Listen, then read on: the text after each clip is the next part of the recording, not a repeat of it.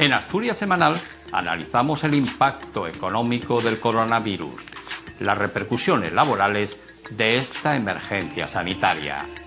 Este era uno de los destinos que teníamos programados este año.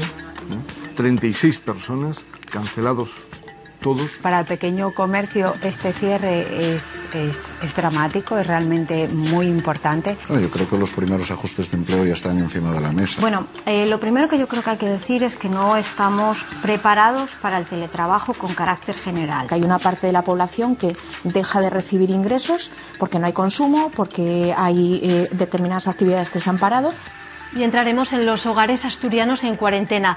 Lo haremos, claro está, de manera virtual, desde casa y a través de los vídeos que ustedes nos han enviado. Actualmente estamos todos en la misma situación trabajando desde casa.